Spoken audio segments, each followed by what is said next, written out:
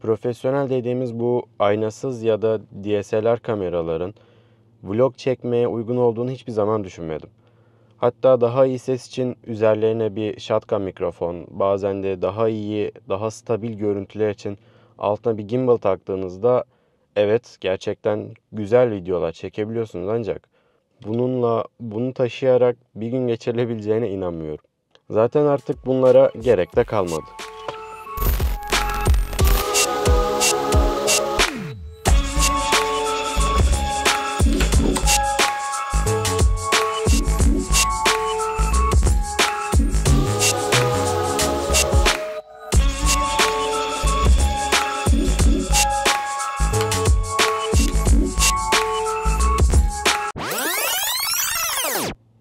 Videoda şu an görüntüyü kaydetmiş olduğum kamera olan Pocket 3'ü amacına uygun bir şekilde kullanarak eee, size tanıtmaya çalışacağım. O yüzden vloguma hoş geldiniz.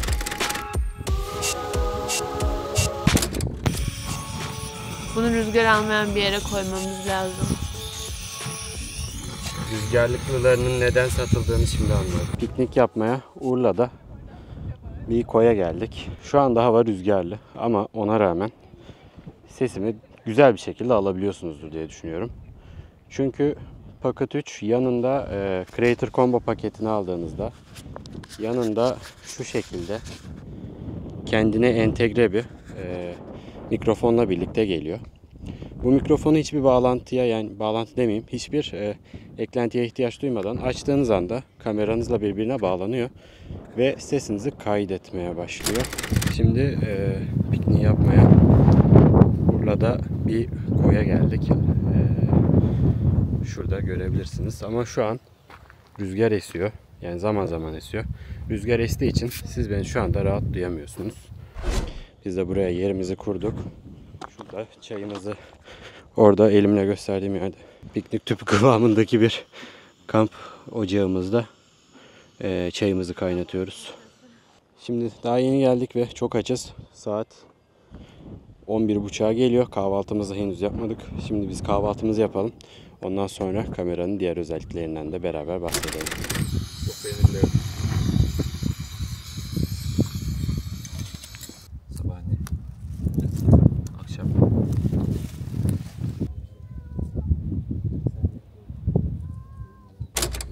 Kamera 1 inç boyutunda CMOS sensöre sahip ve 4K'da 60 kareye kadar çekim yapabiliyorsunuz.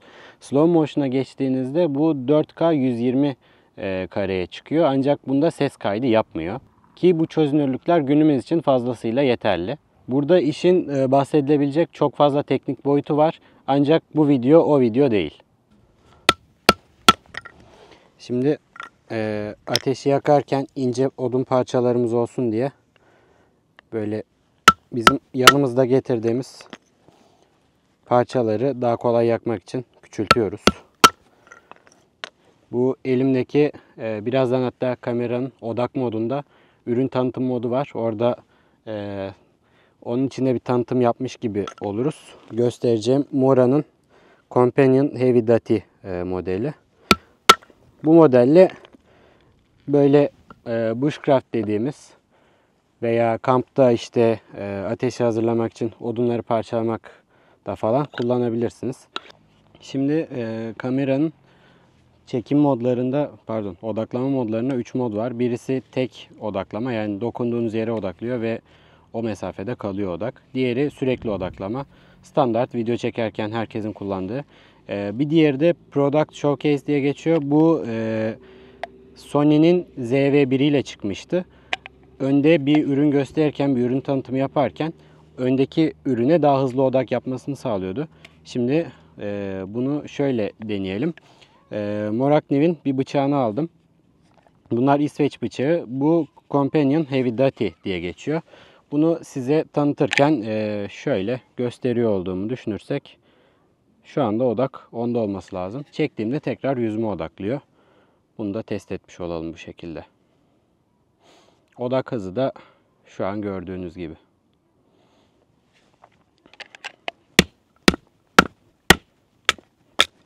Yani çamı da kolayca ayırıyor aslında. Ki ben bu konuda çok deneyimli ve e, eli yatkın birisi değilim. Daha yeni yeni işte böyle merak saldık. O yüzden böyle bir topa girdik mi diye. ya kameranın arkasında iki kişi canlı yayında izliyor bunu tamam mı? O yüzden öyle kurguda kesip biçmeye benzemiyor. Biraz daha geriyor bu yani.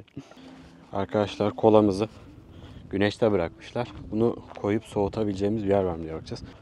Bak şurada suların arasında kayalıkların orada sanki bunu koyabileceğimiz bir yer var gibi. Bakayım mı oraya? Evet dostum. Banker dediğim yer burasıydı. Tam önünde araba duruyormuş. Şuradaki su soğuk olmayabilir ama. Şurası var. Ama oraya da gıcık olan. Şurayı mı diyorsun? Aynen. Oraya su girip çıkıyor ya sürekli. Yeter mi sence böyle? Altına takılabilen bir tripodu da olduğu için böyle istediğim yere koyup sabitleyebiliyorum. Böyle de bir avantajı var. Şöyle de bir durum var. Evet şimdi yüz takibini açtım. Böyle de bir avantajı var. Şu an bir kameramanım yok. Ama ben eee, bu şekilde kalkıp yürüdüğümde kamera beni takip ediyor. Kendi kendine ben nereye gidersem orada çekime devam ediyor. Ben arkamı dönsem de uzaklaşsam da başka yönlere yürüsem de beni takip ediyor ve bir kameramana ihtiyacım olmadan kendi kendimi çekebiliyorum. Evet. Böyle yani tek başıma sanki bir kameraman varmış gibi etrafta hareket ederek çekim yapabiliyorum. Bu çekimi yaparken kamerada şöyle bir durum var. Ee, bu kafa gimbal 360 derece dönmüyor. Bu yüzden siz belli bir açının dışına çıktığınızda orada dönmeyi bırakıyor. Mesela şöyle göstereyim size. Evet son limit burası. Daha fazlasına gelmiyor. Benim tekrardan kadraja girmemi bekliyor. Ben kadraja girince tabii tekrardan takibe devam ediyor. Eğer 360 derece dönüyor olsaydı bununla Vortex çekimleri de yapabilirdik. Vortex olmasa da Vortex'e benzer bir modu var. Galiba 270 derece falan bir açıyla dönüyor. Ama işte 360 dönseydi sonsuz bir döngü yaptırabilirdik veya bunu ortada bir yere koyduğumuzda etrafında hareket ettiğimizde sonsuz takip yapabilirdi. Ee, kendi mikrofonun yani yaka mikrofonun olmasının avantajında şu an görüyoruz yan tarafta mesela e, piknik yapmaya gelmiş başka bir aile var. Benim sesimi onlardan rahatlıkla ayırt edebiliyordur diye düşünüyorum. Hemen şöyle bir şey yapalım. Evet şimdi mesela e, mikrofonu kapattım. Mikrofon bağlantısı yok. Kameranın kendi üzerindeki dahili mikrofonu üzerinden kayıt yapıyor. Bu mesafede ses bu şekilde geliyor ve yan tarafta müzik çalıyor. Farklı bir aile var. Onlar da piknik yapıyor. Evet. Şimdi de mikrofon yani kameranın kendi üzerindeki mikrofonuyla kayıt yapıyoruz. Ee, kameranın yanında Creator Combo pakette e, geniş açı aparatı geliyor. Şu an o takılı değil. Az önceki çektiğim görüntülerde o da vardı. Bu 1 inçlik sensörün bize sunduğu nimetler e, sadece dinamik aralık ve e, düşük ışık performansı olarak da kalmıyor. DJI bu kamerada bir de D-Log M renk profili getirmiş. Bu renk profili sayesinde de e, 10 bit çekim yapabiliyoruz ve böylece hem renkleri daha doğru renkte kaydediyor, e, daha doğru şekilde kaydediyor diyeyim. Hem de ara renklerde yırtılma olmasını engelliyor. Daha kolay e, renkte oynamanıza imkan veriyor. Tabi log profilde çektiğinizde size posta biraz iş düşüyor renkleri yapmak konusunda. Ama ben bununla uğraşmayayım derseniz de kendi normal renk profilde gayet tatmin edici. Onunla ilgili de hemen bir örnek çekelim. Şu anki çekimler e, DJ'in normal renk profilinde. Bunların üzerinde hiçbir oynama yok. Kendi renkleriyle.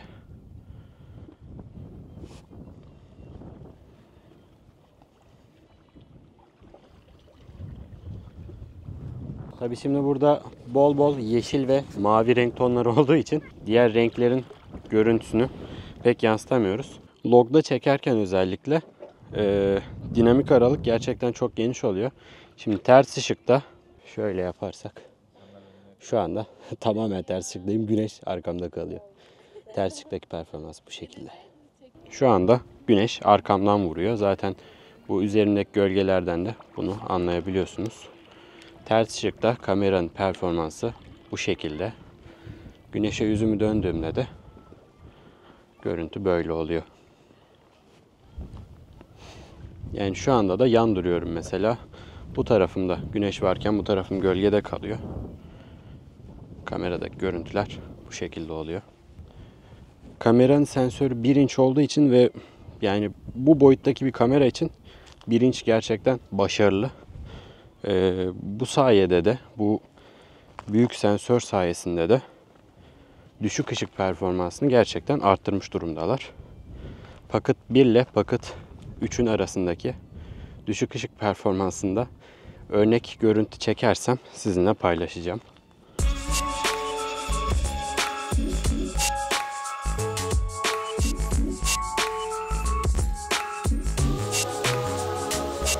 Bütün şeyler taşların arası birbirine benziyor ya. Kolayı hangisine koyduğumuzu unuttum. Alabildin mi? Serin mi? He? Denizi ısıtmışız. Altı serin ama üstü sıcak hala. Hmm. Çok bir şeye yaramadı gibi.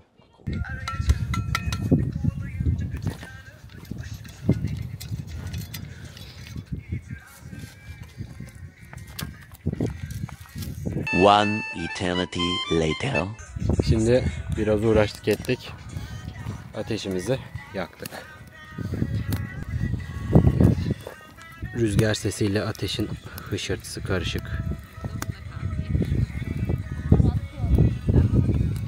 Pocket 1'e göre biraz daha büyümüş olsa da hala e, bu boyuttaki en yetenekli kameralardan biri diyebilirim.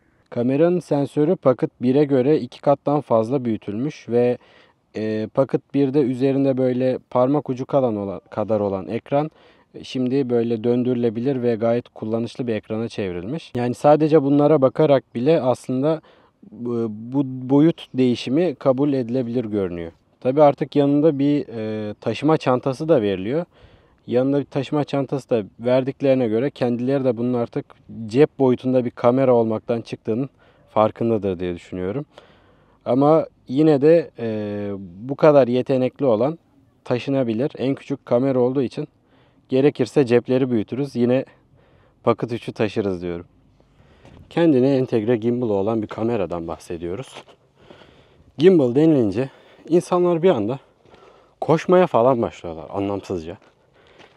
Oysa gimbal aslında yani sizin yumuşak şekilde yaptığınız hareketleri bir yandan da e, piknik alanından toplandık. Gitmeye hazırlanıyoruz. Etrafta bir şey kalmış mı diye bakıyorum. Gimbal aslında sizin yumuşak hareketlerinizi daha pürüzsüz hale getirmek için tasarlanmış bir şey. Yani siz koşarsanız atıyorum şu şekilde. Yani bunda sallantıyı önleyecek diye bir şey yok. Olayı yok. Çünkü koşarken insanlar yani eli yukarı aşağı hareket ediyor şu şekilde. Ve gimbal da bu aksta yani bu eee doğrultuda stabilizasyonu sağlayacak bir mekanizma yok. Unuttuğumuz bir şey yok galiba. Ee, bu anlamda koşarken falan yani o tip şekillerde stabilizasyonu e, aksiyon kameraları daha iyi yapıyor. O alanda onlar daha başarılı. Adı üzerinde aksiyon kamerası. E zaten Pocket 3'ün veya bu tip kameraların maksadı da öyle e, sert, hızlı hareketleri sinematik bir şekilde göstermek olmadığı için aslında böyle bir iddiaları yok. Daha çok e, yumuşak şekilde yaptığınız hareketlerde sizin hareketinizi daha da yumuşatarak daha da akıcı hale getiriyor. Mesela şöyle bir şey göstereyim. Şu şekilde yürüdüğünüzde Pocket 3 ile yani mesela normal ben gezerken yürüdüğüm şekilde yürüdüğümde böyle dıgıdık dıgıdık yapıyor görüntü. Belki fark edeceksinizdir. Böyle hani adımlarımdan dolayı kamera bir aşağı bir yukarı hareket ettiği için görüntüde benim dıgıdık dıgıdık dediğim şöyle yukarı aşağı yukarı aşağı bir sallantı oluyor. Yani tabii ben buna dikkat ettiğim için fark ediyorum ama bu çok göze takılacak veya kafaya takılacak bir durum değil. Ama gimbal var diye koşmak gerekmiyor. Gimbal olunca koştuğunuzda eee, görüntü stabil olacak diye bir olay da yok. Hatta o kadar koşmak dedik. Gelin bir tur koşalım bakalım nasıl oluyormuş.